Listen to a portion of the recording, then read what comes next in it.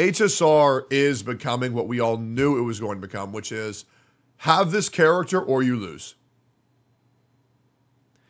And it kind of sucks.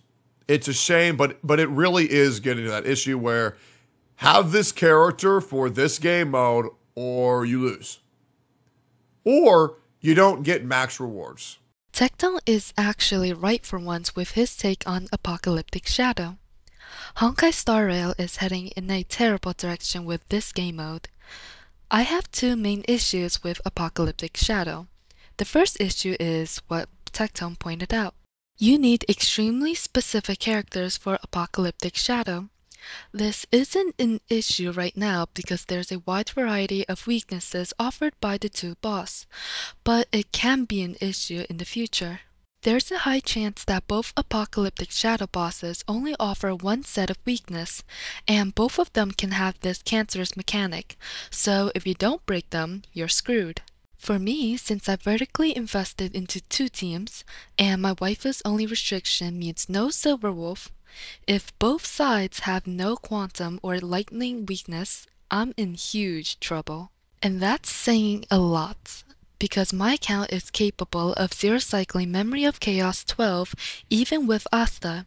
And now since I pulled E1 Robin, it got exponentially stronger. Even then, my chances of losing if both sides of Apocalyptic Shadow have Steadfast Guard and no Quantum or Lightning weakness is extremely high.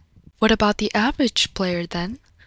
Under the same conditions, they might not even be able to clear one star. Firefly isn't a solution either, since there are bosses straight up immune to Super Break. Apocalyptic Shadow is basically a game mode where you need the right elemental type coverage, or have Silverwolf. Hell, sometimes you need both. This is a terrible game design choice because it promotes horizontal investment instead of vertical investment, which will make your core teams extremely weak. Hoyoverse is essentially forcing you to spread out your resources, and if you're F2P, good luck with that. Having a game mode that cannot be brute forced no matter how well invested your teams are is a step in the wrong direction. Because Hoyoverse can always just do it again and again until you run out of resources. I would rather they just double or triple Memory of Chaos HP. The second issue I have with Apocalyptic Shadow is the fact that it is way too volatile. Hence, it is impossible to judge which character is the strongest on this game mode. There are straight up four options you can pick from. Acheron is the fastest clearer for first half, Ratio is fastest clearer for second half, Zealot is the most cost efficient for first half, and Boothill is the most cost efficient for second half. It is an actual debate because while it would take Acheron multiple E6 S5s to get her 6 AV or 5 AV clear, it would only take 13 costs for Zealot to get a 13 AV clear. So which is the better option? Thousands of dollars for a 7 AV increase sounds ridiculous. And that's not the only issue.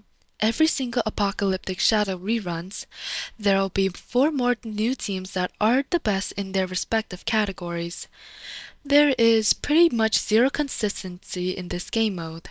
You can say Zealot is way better than Firefly on Cocolia Boss, for example, and you would be right. But you can't say Zealot is better than Firefly in Apocalyptic Shadow in general, because that might not be too accurate, even though Firefly at E6S5 is getting gapped by Blade right now. You can never say for sure that X is better than Y in this game mode. This is not an issue in Memory of Chaos.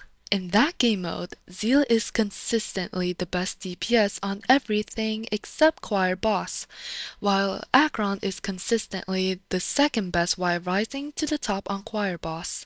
Determining who is the best in MOC isn't an issue either, because there's a tangible goal in zero cycling.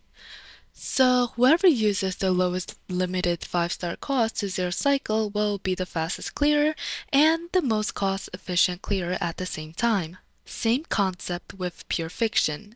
PF is also quite consistent in this aspect. Zila, Argenti, and Herta are always at the top, regardless of the PF buff. Despite people saying PF buffs heavily affect the gameplay, it still stays consistent unlike Apocalyptic Shadow. All in all, Apocalyptic Shadow is a fun game mode to play and watch, but from a game design perspective, it is horrendous and unhealthy for the future of this game.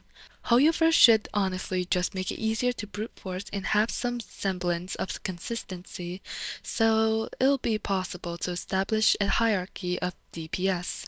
Because right now Acheron may be broken, but the next APOC will make her dog shit, especially on one of the bosses. And no, I'm not biased because I suck at this mode. I made sure to make this video only after I've done some of the fastest clears, so I'm actually the most qualified person to give an opinion on this topic. Whether you agree or disagree with my take is up to you. Remember to like and subscribe, and I'll see you in the next one.